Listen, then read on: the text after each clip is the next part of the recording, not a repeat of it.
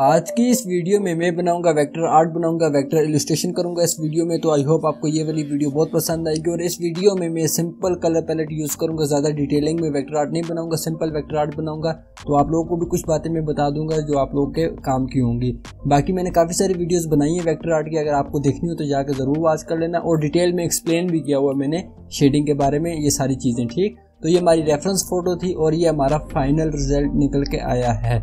तो ये हमारी रेफरेंस फ़ोटो है और सबसे पहले हम लोग लाइन आर्ट बनाएँगे। लाइन आर्ट जो न्यू है, उनको मैं बता दूँ लाइन आर्ट वो होता है कि जिसमें हम लोग सिंपल आउटलाइनिंग करते हैं अपने वेक्टर आर्ट की। तो आप जब भी यार एक बार ध्यान में ज़रूर रखना कि जो बिगनर होते हैं ना, वो जब लाइन आर्ट बना रहे होते हैं ना, वो बीच में आई की लाइन आर्ट नहीं करेंगे, कोई नोज़ छोड़ देगा नोज़ नहीं करेगा, उसको सिंपल कलर फिल कर देते वो विक्सल आर्ट होता है। विक्सल आर्ट अलग होता है वेक्टर आर्ट अलग होता है पोर्ट्रेट अलग होता है सेमी रिलाजम आर्ट वर्क अलग होता है। मेरी बात समझ सेमी रिलाजम आर्ट वर्क में क्या होता है कि आप लोग थोड़ा बहुत रिलाजम रिलास्टिक का मतलब है ना, इसको सेमी रिलाजम भी बोलते हैं सेमी रिलास्टिक भी बोलते हैं। सेमी रिलास्टिक का मतलब है थोड़ा बहुत रिलास्टिक लगता है। ज़्यादा रिलास्टिक नहीं होता है बस सिंपल कलर ब्लेंड होते हैं, ज़्यादा इतना कुछ नहीं होता।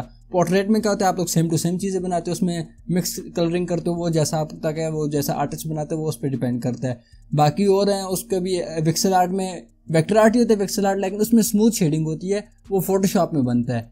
उसमें हम लोग कभी कभी उसकी नोज़ की आउटलाइनिंग नहीं करते आइज़ की आउटलाइनिंग नहीं करते इस तरह, जैसे मैं यहाँ पे कर रहा हूँ ना लाइन आर्ट बना रहा हूँ ना, ये लाइन आर्ट नहीं करते। तो मतलब कि मुख्तलिफ़ होता है, हर किसी पे जो अच्छा लगता है वो चीज़ हम लोग करते हैं। अब ये नहीं है कि वेक्टर आर्ट में नहीं अच्छा लग रहा वेक्टर आर्ट में आपने हर सूरत में सारी जगह पे आउटलाइनिंग करनी है।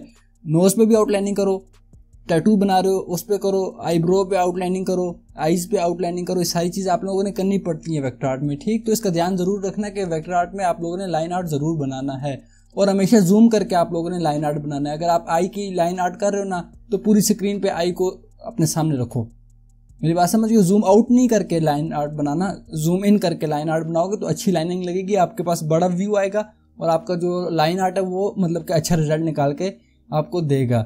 बाकी अगर आप ग्राफिक टैबलेट यूज़ कर रहे हो नए नए हो तो उसके लिए आपको प्रैक्टिस की ज़रूरत है, कोई उसके लिए tricks and tips and tricks नहीं है, ठीक? प्रैक्टिस जितनी अच्छी होगी उतना अच्छा आपके पास रिज़ल्ट निकल के आएगा और ब्लैक शेडोज ऐड करते रहने हैं। बाकी ये कलर पैलेट में यूज़ कर रहा हूँ, इसका लिंक दे दूँगा डिस्क्रिप्शन में। ठीक हो गया? तो ये वाला जो कलर है, ये आई के लिए मैं यूज़ करूँगा।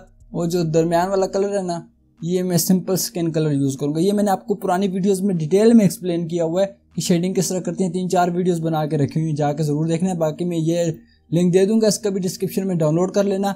और अगर मेरी मतलब के वीडियोस देख के आप लोग प्रैक्टिस करते हो ना जो मैं डिस्क्रिप्शन में मॉडल की पिक्चर देता हूँ ना उस पर प्रैक्टिस करो। क्योंकि अगर आप अभी बिगनर हो, आप लोग ये चाहते हो कि कभी किस शाहरुख खान की पिक्चर उठा ली, मैं भी पहले यही करता था। शाहरुख खान की, सलमान खान की इधर उधर उठा के मैं बना देता था। तो ये चीज़ आप लोग नहीं करो। ये, वो पिक्चर पे आप लोग ट्राई करो ना पिंट्रस्ट पे जाओगे, वहाँ पे आप लोग रैपर लिखोगे ना रैपर्स की पिक्चर आ जाएँगी। ये जो अंग्रेज़ी, अंग्रेज़ गाने गाने वाले हैं सिंपल बात बताऊँ। इनकी पिक्चर्स आप लोग, ये लोग बहुत अच्छी पिक्चर क्लिक करवाते हैं। जो मॉडल होते हैं ना, उनकी पिक्चर भी नहीं लेनी। जो फ़ैशन मॉडल हो गए हैं, वो उनकी भी पिक्चर ना लो। इनकी पिक्चर्स लो, आपको टैटूज भी इनकी पिक्चर पे मिलेंगे, और ये आर्ट वर्क इनके साथ ही मैच करता है। जो वेक्टर आर्ट है ना, वो इनके साथ ही मैच करता है। इनके आप लोग अगर पुराने एल्बम शेल्बम देखो ना, अगर गाने सुनते हो तो इन पे वो होगा मतलब कि आर्ट वर्क पे ये वेक्टर आर्ट ही होता है कार्टून आर्ट ही इनका यूज़ होता है ज़्यादातर।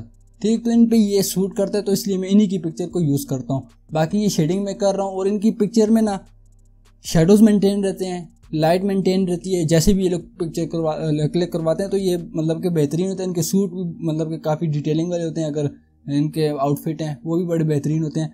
बाकी ये आउटले सिंपल शेडिंग में यहाँ पे कर रहा हूँ तो शेडिंग की अगर आप लोगों ने देखना है तो यार लिंक दे दूँगा डिस्क्रिप्शन में, वहाँ पे वीडियोज़ हैं डिटेल में शेडिंग का मैंने बताया हुआ, बाकी जो इसका स्ट्रक्चर है फेस का, वो मेंटेन में रख रहा हूँ। मैंने आपको बताया कि जब भी आप लोग फेस शेडिंग कर रहे हो तो उसमें आप लोगों ने मेन इसका जो स्ट्रक्चर है फेस का, उसको ढूंढ लेना मतलब सामने नज़र आना हो कि यार ये इसका मेन स्ट्रक्चर उसको सही तरह बना लिया। बाकी जो शेडिंग है वो हल्की पुल्की होती रहती है, उसका इतना मसला नहीं होता, ठीक? बाकी जो उसकी आईज़ है वो देखो, मैं जैसे उसके ऊपर शेडोज़ ऐड किए हुए ना, मुझे सामने नज़र आ रहा है कि यार कहाँ कहाँ पे ऑरेंज ऑरेंज एरिया जहाँ पे आपको नज़र आ रहा है ना वो उसके शेडोज़ हैं। मुझे बिल्कुल सामने नज़र आ रहा है कि यार यहाँ पे इसके शेडोज़ ऐड हुए हैं। सिंपल मैं यहाँ पे कलर पैलेट यूज़ कर रहा हूँ यहाँ पे। तो इसलिए मैं इन्हीं की पिक्चर को यूज़ करता हूँ। बाकी जो इसका फेस का स्ट्रक्चर है, वो ऑलमोस्ट मतलब कि मैंने निकाल लिया। बाकी जो अब इसके बाद लास्ट कलर करूँगा, वो सिंपल ऊपर, ये वाला जो है लास्ट कलर मैं कर दूँगा। ठीक, बाकी मेन स्ट्रक्चर निकल के आ गया। अब ये जो एरिया मैंने मार्किंग की है ना, यहाँ पे इसका हम लोग लास्ट कलर करेंगे उसका वेक्टर आर्ट कंप्लीट हो जाएगा। ठीक तो अभी यहाँ पे तरीके से हम लोग करेंगे तो ये मैंने थोड़ा बहुत यहाँ पे भी कर रहा हूँ। तो ये देखिए, बिल्कुल सामने क्लियर आपको नज़र आ रहा है कि इसका फेस का स्ट्रक्चर कैसा है। और ये मैंने यहाँ पे इसको लगा लिया। ठीक हो गया। बाकी जो इसकी क्या कहते हैं नोज़ के एरिया आसपास आईज हो गया, यहाँ पे मैं सिंपल इसकी आउटलाइनिंग करूँगा। आउटलाइनिंग कह रहा हूँ शेडिंग करूँगा। ठीक हो गया। ताकि कलर को मेंटेन हो जाए, हर जगह मैं करूँगा। जो लास्ट कलर होता है ना, वो आप कोशिश करो, हर जगह यूज़ करो थोड़ा थोड़ा ताकि वो जो कलर है ना, वो मेंटेन हो जाए। मेरी बात समझ गई? ये नहीं कि थोड़ा थोड़ा कलर करोगे तो वो अच्छा नहीं लगेगा। बस जैसा वेक्टर आर्ट अच्छा लग रहा है ना, वैसे कलर करो। ये नहीं कि वहाँ पे शेडो है या नहीं है। वो आपकी मर्ज़ी है। वो उसको भी आप देख के चलते हो तो ठीक है, नहीं तो आप अगर वो चीज़ अच्छी नहीं लग रही तो नहीं करो वहाँ पे। अगर वो कलर अच्छा लग रहा है तो उसको करो। बेशक वहाँ पे शेडो है या नहीं है, वो आप तक है, लेकिन करना ज़रूर है अगर अच्छा लग रहा है। मैं यही आपको सजेस्ट करूँगा। बाकी जो ईयर है, उसका देखो फेस का फेस का कह रहा हूँ ईयर का स्ट्रक्चर बिल्कुल मेंटेन निकला है। अब आई में देखो, मैं ये वाला कलर यूज़ कर रहा हूँ ना, अब इससे डेप्थ ऐड हो जाएगी। जब मैं हल्का सा शेडो ऐड करूँगा तो ये देखो, मैंने शेडो यहाँ पे ऐड किया ना तो ये डेप्थ ऐड होगी। जो आई है, वो हमारी टू से ज़रा सी थ्री में आ गई है। ठीक तो इस तरह मतलब कि शेडोज़ को आप लोगों ने मेंटेन लेके चलना है और इसमें भी दो कलर होते हैं, आई के लिंक डिस्क्रिप्शन में मैं इसका कलर पैलेट दे दूँगा आपको, ये मिल जाएगा कलर पैलेट तो ये आप लोगों ने यूज़ कर लेना अगर आप लोग वेक्टर आर्ट बनाते हो। बिगनर हो तो यार बिल्कुल सिंपल ये जो मैं दे रहा हूँ ना कलर पैलेट इस पर ही स्टार्ट करो, बहुत अच्छा वेक्टर आर्ट बनता है। ये नहीं कि आप लोग को खाली प्रैक्टिस के लिए होगा, मैं खुद यूज़ करता हूँ, मेरे बहुत सारे वेक्टर आर्ट जो है ना, वो इसी कलर पैलेट से मैंने बना के रखे हुए हैं। ठीक हो गया, बाकी जो क्लाइंट आता है उसको भी मैं ज़्यादातर इसी कलर पैलेट में बना के दे देता हूँ।